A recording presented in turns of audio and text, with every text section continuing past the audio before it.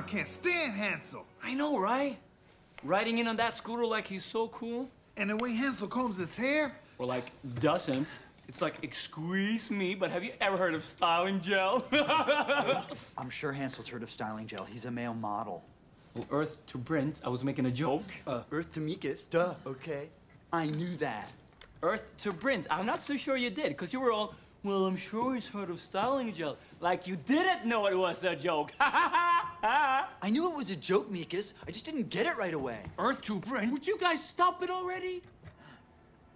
Did you ever think that maybe there's more to life than being really, really, really ridiculously good looking? I mean, maybe we should be doing something more meaningful with our lives. Like helping people. Uh, Derek, what people? I don't know. People who need help. Models help people. They make them feel good about themselves. They also show them how to dress cool and wear their hair in interesting ways. Yeah. I guess so. Know what could really help you sort through these important issues? What? Orange mocha frappuccino! yeah!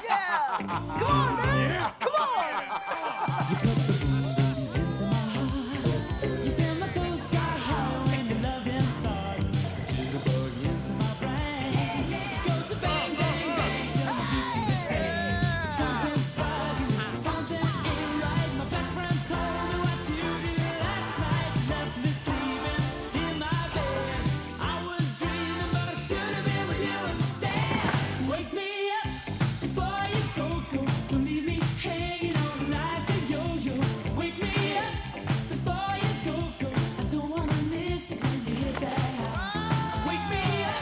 before you go,